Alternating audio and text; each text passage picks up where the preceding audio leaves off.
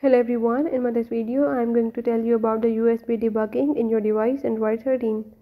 So if in this device Android 13 you want to debug your USB or you want to use this feature, it's very easy and I will tell you how you can do it in the few steps. Follow the step, watch the video till end and don't forget to subscribe my channel. Now let's watch the video and learn about the USB debugging in your device.